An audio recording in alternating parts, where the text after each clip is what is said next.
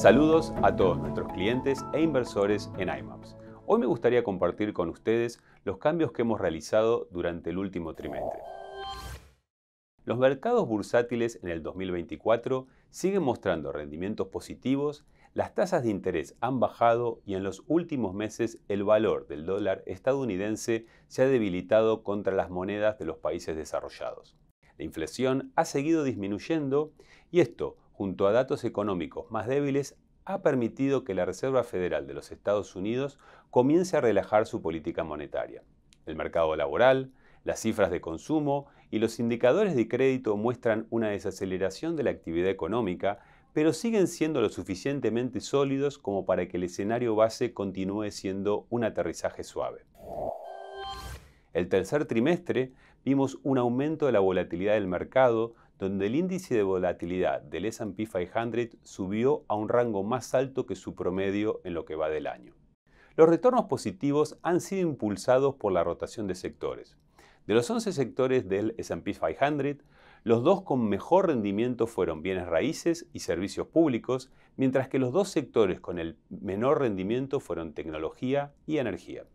El resultado de la carrera presidencial en Estados Unidos sigue siendo incierto, sin un ganador claro y marcado por dos intentos fallidos de asesinato contra el presidente Trump.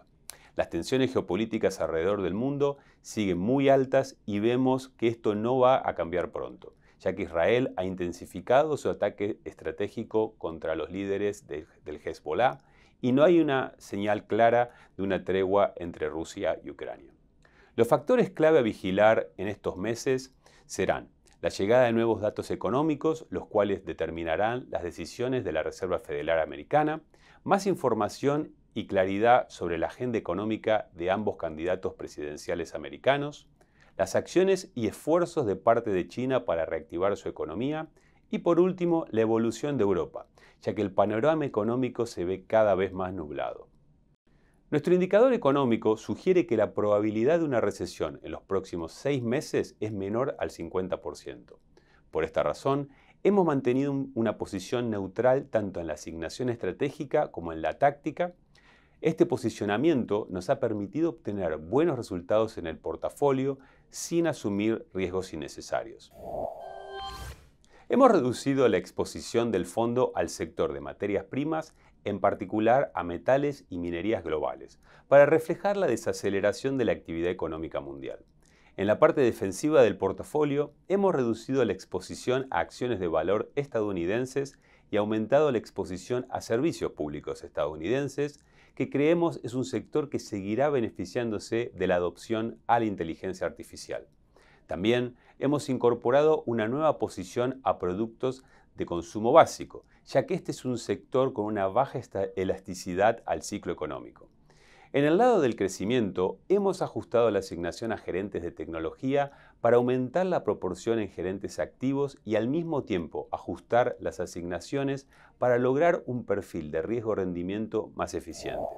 Por último, hemos introducido un nuevo gerente activo en Estados Unidos cuya tesis de inversión se centra en el crecimiento de ganancias a largo plazo utilizando una estrategia long short 130-30 que ha superado consistentemente su índice de referencia. Esperamos que se encuentren bien y como siempre no duden en contactar a su asesor financiero con cualquier pregunta que puedan tener. Muchas gracias.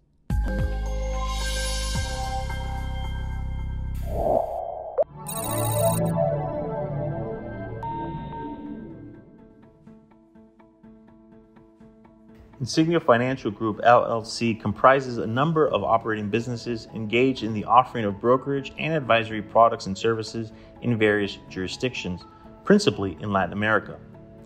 Brokerage products and services are offered through Insignia International Financial Services LLC, headquartered in Puerto Rico, and through Insignia Securities LLC, headquartered in Miami.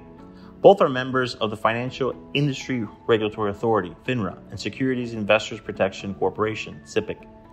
Investment advisory products and services are offered through Insignia Advisory Services LLC, an investment advisor registered with the Securities and Exchange Commission. In Uruguay, advisory services are offered through Insignia International Asesores de Inversión Uruguay, SA, Insignia Asesores de Inversión Latam, SRL, and Insignio Asesores de Inversión de Uruguay SRL in Argentina, and through Insignio Argentina SAU, and in Chile through Insignio Asesorías Financieras SPA. Collectively, these eight operating businesses make up the Insignio Financial Group. To learn more about the broker dealers, including their conflicts of interest and compensation practices, please go to https colon forward slash forward slash insignio.com forward slash disclosures forward slash or via www.finra.org. To learn about Insignio Advisory Services and any conflicts related to its advisory services, please see its Form ADV and brochure, which can be found at, at Investment Public Advisor Public Disclosures website, https colon forward slash forward slash advisorinfo.sec.gov forward slash.